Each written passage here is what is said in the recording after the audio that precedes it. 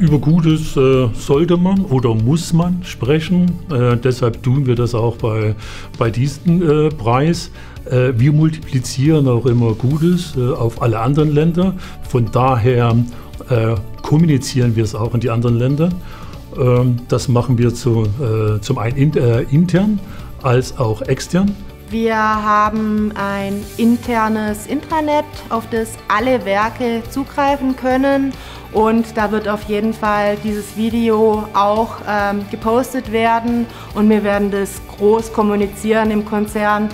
Ähm, es ist eine tolle Sache, es ist eine einfache Sache. Viele von den anderen Werken können auch davon profitieren. Daher werden wir das sehr groß publik machen. In der Unternehmenskommunikation wird natürlich äh, diese, diese dritte goldene Hand äh, weltweit, global kommuniziert, auf allen Kanälen. Und natürlich setzen wir das auch ein bei unseren Kunden, die uns besuchen. Stellen wir natürlich auch die goldene Hand vor, weil man sieht sie auch hier in der Vitrine. Die goldene Hand der bedeutendste Preis für sichere und gesunde Arbeitsplätze im Handel und in der Warenlogistik. Jetzt bewerben unter diegoldenehand.de